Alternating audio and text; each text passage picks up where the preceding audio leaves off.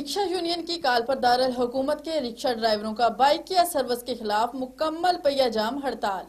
Rickshaw union ने bike या service को गैर कानूनी करार देते हुए बंद करने का मुतालबा कर दिया। रिक्शा यूनियन की काल पर दारुल हुकूमत मुजफ्फराबाद के रिक्शा ड्राइवरों का बाइक सर्विस के खिलाफ मुकम्मल पहिया जाम हड़ताल। बाइक सर्विस को गैर कानूनी और माशी कतल करार देते हुए बंद करने का मुतालबा कर दिया। रिक्शा स्टैंड ऐसी मरकजी अवान सहाफत तक एहतजाजी मार्च और धरना दिया। शुरकाय रैली ने बाइक सर्विस के खिलाफ शदीद नाराबाजी की और उन्होंने उसके खिलाफ प्ले कार्ड भी उठा रखे थे। एहतजाजी रैली की क्यादत रिक्शा यूनियन के सदर चौधरी मुराद सगीर अहमद और दीगर ने की। जिनका कहना था की बाइक का सर्विस के आगाज़ से ही रिक्शा ड्राइवर का माशी कत्ल हुआ है और ये गैर रजिस्टर्ड, गैर कानूनी है, जबकि रिक्शा की बाकायदा रजिस्ट्रेशन हुई है। बाइक या सर्विस के बाद ट्रैफ़िक पुलिस ने बिला जवाब रिक्शा वालों के चालान शुरू कर दिए हैं, जिससे नुकसान हो रहा है। गरीब रिक्शा ड्राइवर दिहाड़ी लगाते हैं तो घर वालों के दो टाइम का पेट भरते हैं। इसको छीनने की कोशिश की जा रही है। इस मौका पर उन्होंने कहा की हुकूमत होश के नाखन ले और बाइक के सर्विस को फिल फोर बंद करे।